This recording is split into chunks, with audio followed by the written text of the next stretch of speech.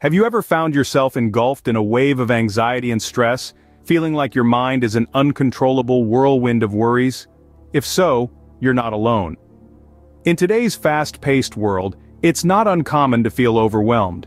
But what if there was a way to calm the storm within? A way to find peace amidst the chaos? That's where mindfulness and meditation come into play. Mindfulness, in its simplest form, is the act of being fully present, of being completely aware of the here and now, without casting judgment.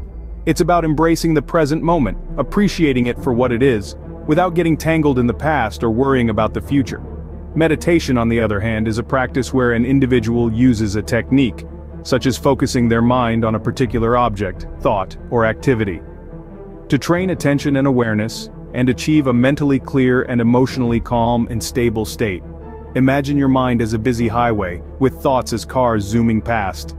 Mindfulness and meditation teach you to stand at the side of this highway, observing the cars go by, without chasing after them or being hit by them. It trains you to become an observer of your own thoughts helping you understand them without getting swept away. A mindfulness-based stress reduction program, or MBSR for short, is an eight-week program that employs mindfulness practices to help manage everyday stress.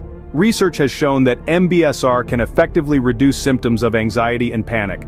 Likewise, mindfulness-based cognitive therapy, MBCT, is another program that combines mindfulness with cognitive techniques to prevent depression relapse.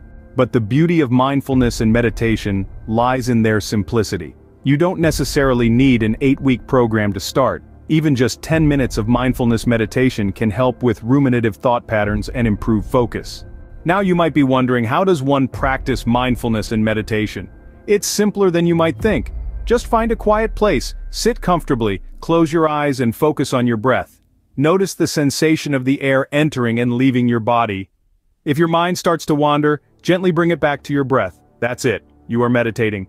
Remember, mindfulness and meditation are not about emptying your mind or stopping your thoughts. It's about being aware of them, understanding them, and not letting them control you.